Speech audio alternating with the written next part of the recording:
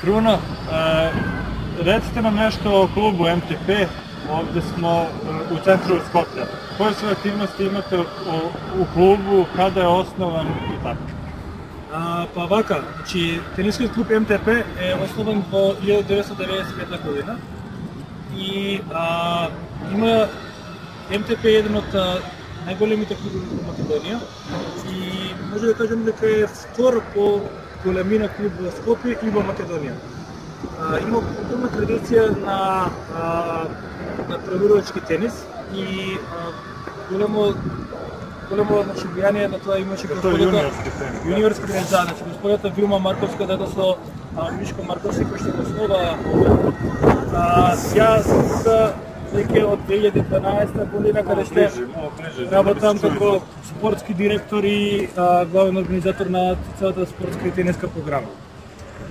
МТП а, во последните години има а, многу понуди во тенискиот дел, а, не само на преварувачки и юниорски тенис, а, ние активно работиме на, на сите а, сфери од тенисот, каде што е црвениот тенис даваме голема а, значи големо удел и после доаѓа протоколовиот тенис, наранџасти, тенис, наранџасти, така да, а, и зелен тенис.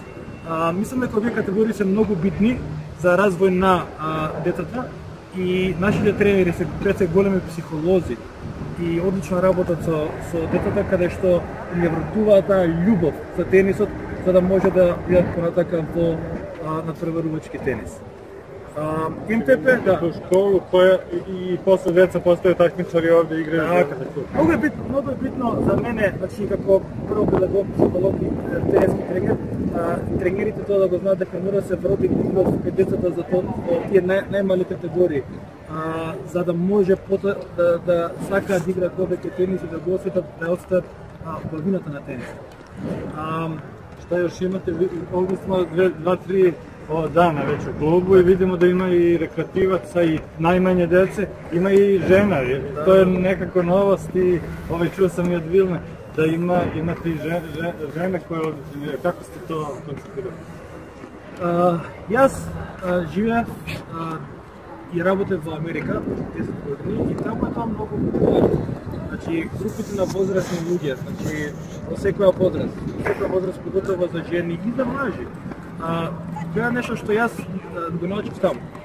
Кога бев тука во 2012 година и тоа ми беше една идеја дека знам дека може и дека луѓето ќе сакаат да играат зашто нешто ново каде што не е само да дојдеш на тениски терен да удриш топче, а, па а, тренерот вака туку има повеќе од тоа тренерот да ќе го води буквално тренингот каде што се учи техника, па се учи позиционирање, па игри и една вид забава и луѓето да го прифатија многу добро тоа тука и можам да кажам дека имаме моментално околу сигурно околу 50 до 60 луѓе во тие групи на возрастни. Значи, али по големиот дел можам да кажам дека се жени, кои што се доаѓаат и го сваќаат тоа како еден вид на убава рекреација и на дефинитивно воркаут.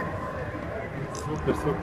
А, овде, можете ли да ми кажете нешто о историјату овog турнира? Колко знам, по пети пут се одржава е, сениорски туре, турнир sa наградnim fondom Prize Money, е, a prvi put do 14 godina. Kako, e, kako, no, eto, za naše posjetioce malo više o istorijatu ovog turnira MTP Open i e, o, o toj novini e, koja se prvi put ove godine organizuje e, do 14 i crveni nivo.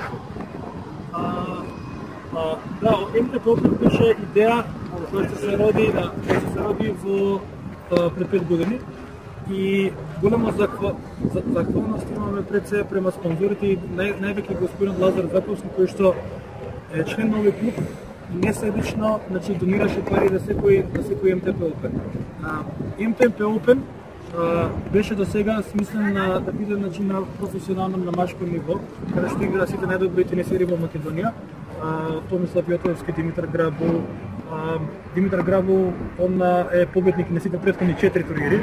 Сега ќе видиме на овој како ќе биде. А, така да, а, Поентата беше на МТП Open да биде настан во Македонија каде што а, ке се собрат најдобрите македонски тенисери, има кои учесници во странство.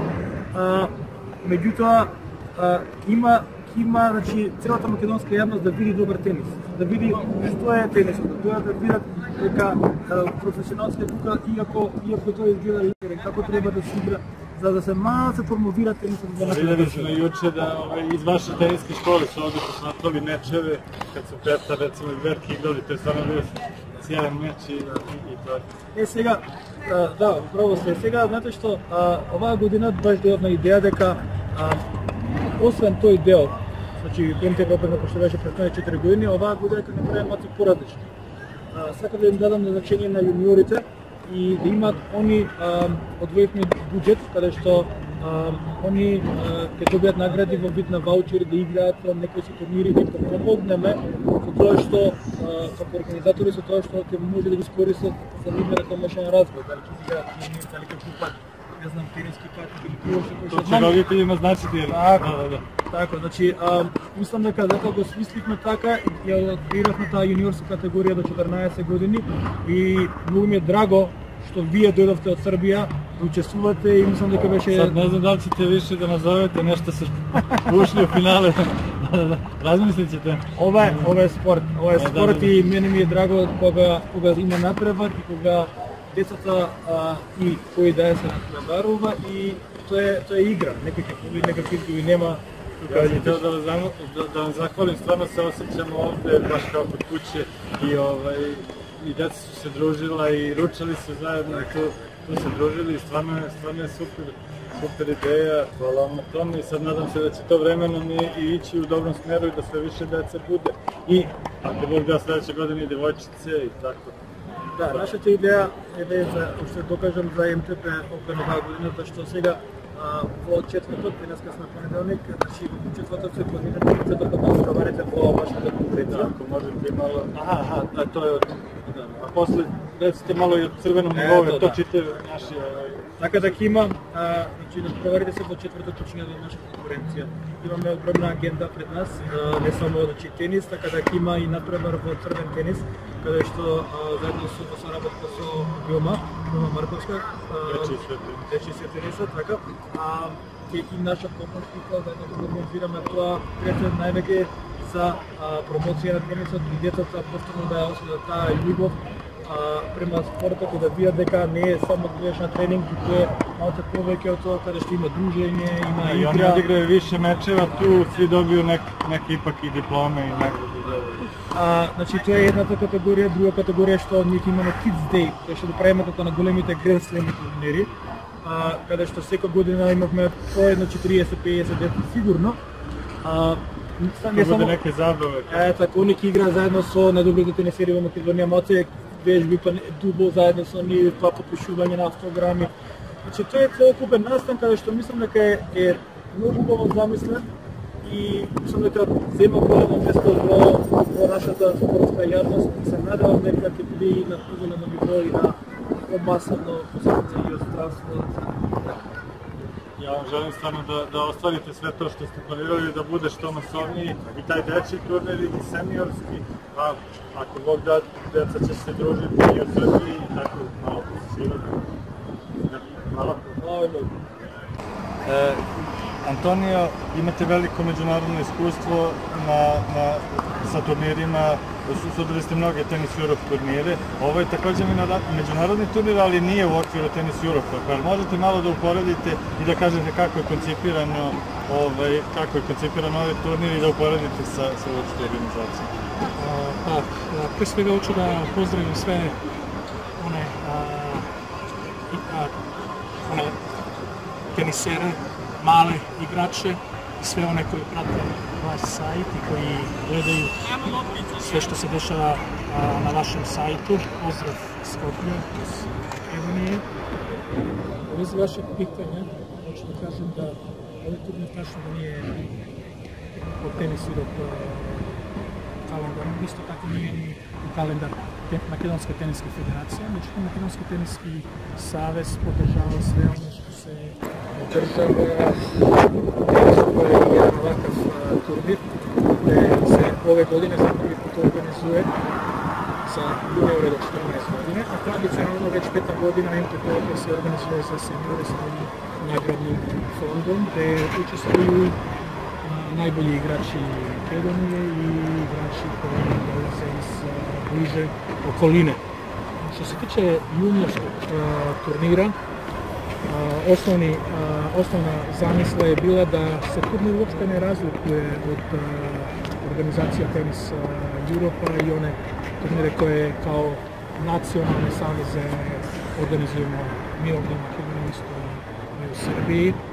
Tako da pravila su ista i Možda je malo manje strogo, ali...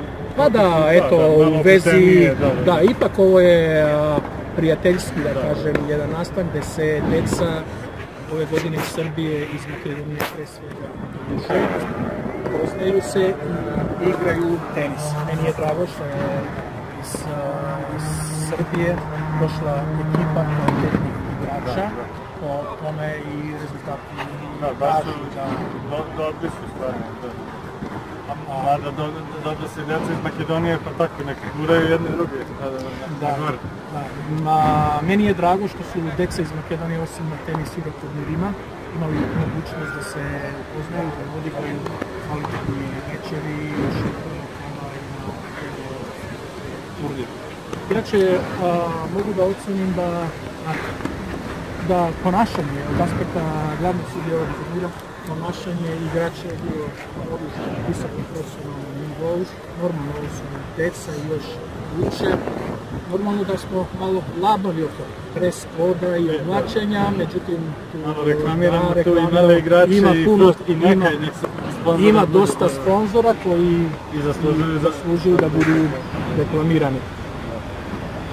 Znači, a su slušali ovi naši iz Srbije, vi sa njima Pa, sedmarica? Obično, a, a, gledajte, a, deca koja do, dođu da igraju ovaj turnir 14 godina, to su već iskusna deca koja znaju osnovna teniska pravila, znaju, svoj, a, znaju se ponašati onako kako se treba i niko od njih ne prelazi onaj a, limit ponašanja da bi bio, dobio a, op- opomenu kažem. Tako da, to je to. A, turnir prolazi u najboljoj atmosferi. Da, nadamo se da će sljedeće godine biti možda i za devojčice i da će biti još djece. Sad ono možda nisu ni znali... e, Da, ja, se, da. ja se nadam da do godine bude turnir isto i za devojčice. Još a, da klub a, poradi malo više na marketing ovog da turnira, pa da se obaveste bar susedni teniski savezi ovdje, pa da turnir dobije jedan regionalni karakter, gde će Od iz Bugarske, ne znam, znači, znači, Bugarske, Crne Gore, Bosne, Albanije, da, Bosne. da, da. Da. I, a, svako onaj ko ima interes da dođe da Grčke, igra, pa da, nek izvoli. Termin je dobar, a u Skoplju je sada do, dosta dobro vreme. Vidim sunce kad grane, to je brzo to.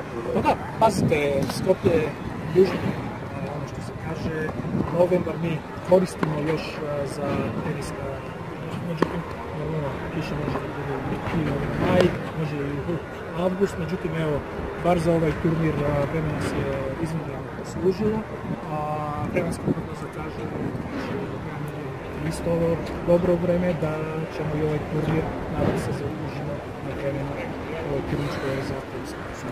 teniska. Ja sam poželao i, i krunu, a evo i vama da, da stvarno protekne sve što bolje, da bude što više takmičara, a i ovi najmlađi crveni nivo da ih bude i iz Srbije i iz Makedonije. Nadam se. Nadam se. a, Hvala vam što ste došli. Pozdrav a, svim onima koji gledaju ovaj sajt i koji se mene sećaju.